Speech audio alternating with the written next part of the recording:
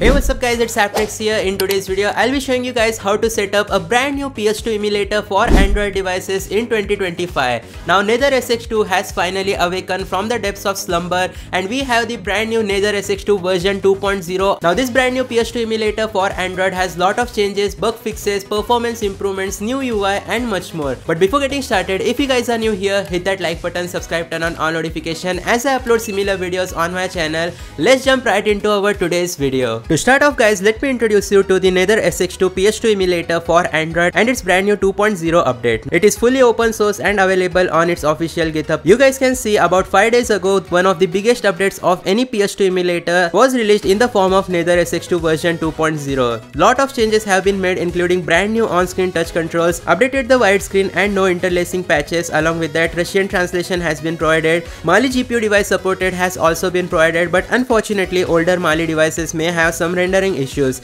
If you guys want me to test this out on a MediaTek or an Exynos processor Android device, do let me know in the comment section down below. With that being said, let's start setting up the simulator. I have already added this version of Nether SX2 on my Android device. The setup screen will be similar to that of Aether SX2. So let's tap on the next button. Afterwards, you can read the FAQ or skip it like I like to do always. We'll get some preset or built-in settings that you can choose from optimal or safe defaults, fast and unsafe defaults and also expand to cutout area. Make sure to enable this option and depending on the device and type of performance which you want from PS2 emulation, you can either choose fast settings or the optimal safe settings. For today's video, we'll go with the fast default settings because obviously it won't have that many graphical issues and it will make sure that your game runs with better FPS and speed percentage. Aspect ratio, make sure to set it to stretch. Theme, you can either set it as light or dark and GPU renderer, this is the most important. If you have Android version 9 or above, make sure to choose the Vulkan GPU renderer as it provides better performance. You also get the option for upscale multiplier. If you have a flagship Android device with Snapdragon 888 processor or above,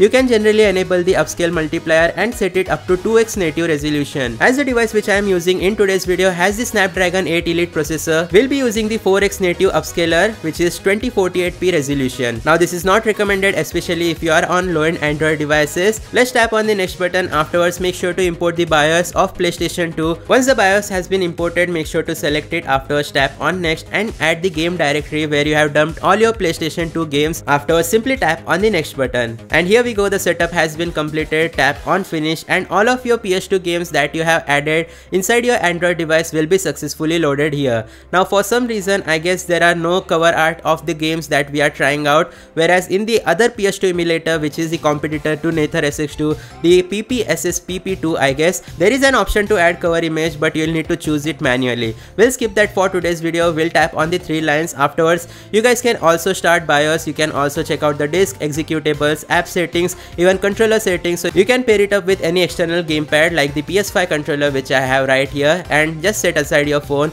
Enjoy a controller based gameplay experience. But I am all for on-screen touch controls. Let's go to app settings where you'll get lot of additional settings that you can enable or disable depending if you want better performance or better graphics quality. In the general section make sure to enable the show FPS option as well as show speed. If you want to monitor the performance of the emulation you can do that as well. Enable show CPU usage to see if your CPU is lagging. Even show GPU usage to see the GPU statistics. Afterwards scroll to the system settings and here you can disable the frame limit option. This will make sure that the system will run as fast as possible. This is an hazard if you have a high-end Android devices and have not increased the graphics resolution because your game will just run too fast that you can't even control it like 400 500 fps so make sure to enable frame limit only if you have a high-end android device but on low-end device or if you increase the upscale multiplier then make sure to disable this option. Afterwards we'll go to graphics. As i mentioned before gpu renderer is vulkan you can disable some of the options such as bilinear filtering trilinear filtering and even anisotropic filtering for better performance. Once that's done you can select the audio settings or directly scroll back to the last option which is going to be advanced. Here are some of the experimental features but you'll need to scroll down and make sure that the enable fast mem option has been turned on. Now that we are done with setting up everything, we can start testing out some of the games that I have dumped on my Android device. For example, the Tekken 5 demo, God of War 2 demo and much more.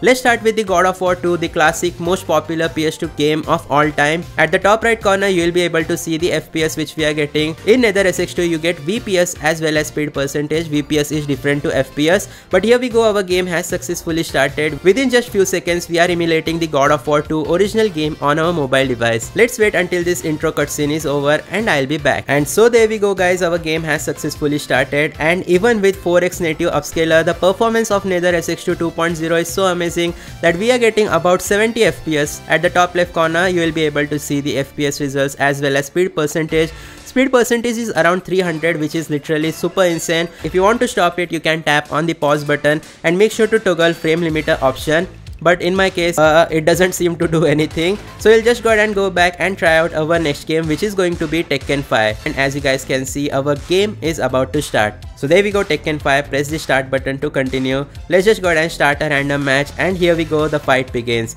just take a look at this we are emulating oldest of the oldest amazing PS2 titles on our Android devices natively in 2025 with the help of this PlayStation 2 emulator and all of your nostalgia will be finally paid off using the Nether SX2 emulator. Anyways, that's going to be it for today's video. Thanks for watching. Hit that like button, subscribe, turn on all notification. I'll see you guys next time.